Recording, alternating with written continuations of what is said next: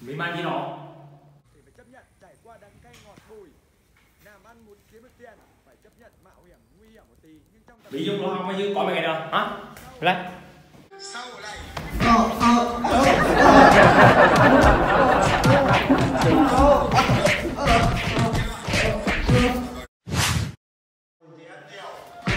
Học cái này nhìn em học này nhìn đây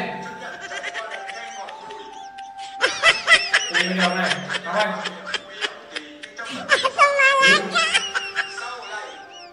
Đỡ bóng Thôi Nhìn, đi nhìn.